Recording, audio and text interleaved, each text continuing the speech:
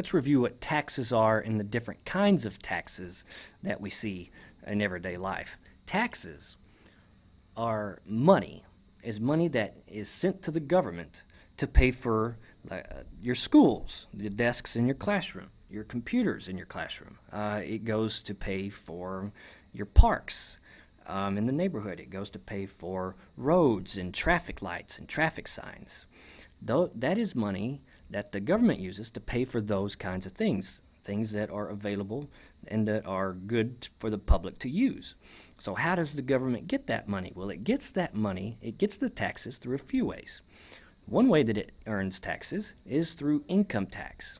And income taxes, those are taxes that are paid when money is earned by people and businesses. So, anytime you make money, if you were to get a check, and you're making money, some of that money is going to go to the government to help pay for schools and roads and, um, and books and parks. And that is taxes that you pay. Payroll tax is kind of like uh, what income tax is, but they are taxes that are mostly from employers. Well, who are employers? Uh, you are an employee, so this would be like your boss. These are things that bosses pay um, that are usually based on salaries that they pay their staff. Uh, sales tax are taxes that are paid when something is sold. So anytime you see a price on something at a store um, and you buy it, let's say it's $1, you're looking at the dollar menu at McDonald's. Well, you don't just pay $1 really because every time something is sold, a tax is added to it. So really you pay like a dollar and eight cents.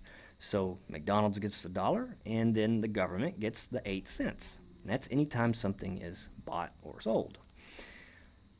Property tax. This is paid by people who own land. So if your parents living in a house and they own it, or uh, or if, if if you're on some land where there's like farmland and there's cows, anybody who owns an area of land, they pay taxes on that land, and that goes to a local government, like in your city. So it's really specific to your city. It doesn't go to the big government in Washington where the White House is, it goes to where like the mayor's office is. And that is kind of an overview of what the different taxes are.